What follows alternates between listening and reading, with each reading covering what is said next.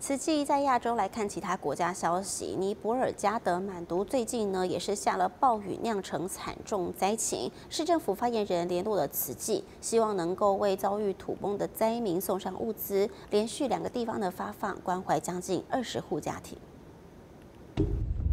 尼泊尔暴雨，首都加德满都频传灾情，急需民间救援单位投入，市政府主动求助慈济。二十九号早上的时候，我们接到那个啊市政府的发言人哈的一个请求的电话，他讲说那个就那边他们那边发生了一个土崩，那我们就马上就开车那个灾区土崩的灾区去。依据里长助理提供的物资名单，在市区完成采购，立即前往灾区。但考量安危，决定在邻近的银昌谷学校进行发放。不过大货车开不进校区，大家发挥蚂蚁雄兵之力，合力将物资搬到学校。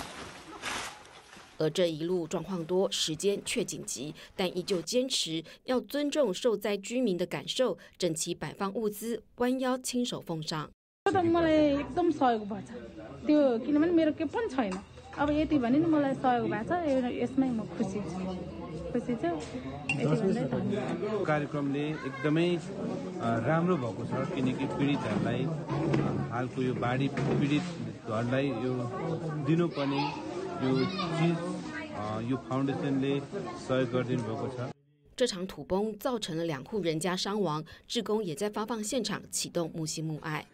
我们真正发放的是十九户，一个学生已经往生了，就是土土崩的时候啊就往生了。那另外一个呢是四年，所以那两户家庭啊都没有来，啊没有出席这个这个发放的仪式。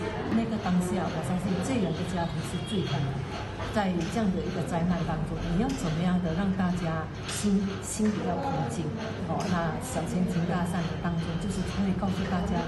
做好事、好人好事的这样一个举动。面对无情的灾难，关怀互助会是最温暖的力量。大爱新闻真善美职工邱静义、李立新，尼波报道。